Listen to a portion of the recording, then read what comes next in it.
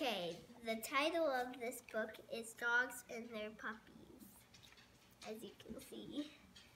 And so I like this book because it it has good illustrations.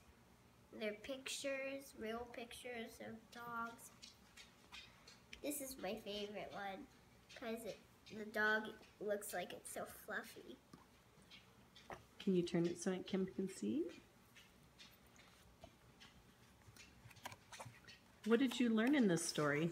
I learned that puppies, like once they're born, they can't see or hear for 10 days. Wow. On the 10th day, they can hear and see. But less than 10 days, they cannot. What else and did you when learn? puppies are six weeks old, then they can eat dog food. So, Anything else you want to share about the stories Oh. or the books that you get?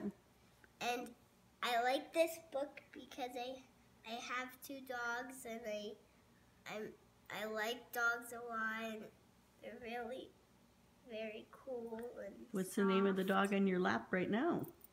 The name of the dog on, on my lap right now is Dasher. Who who belongs to Dasher? Is that your doggy? Yep.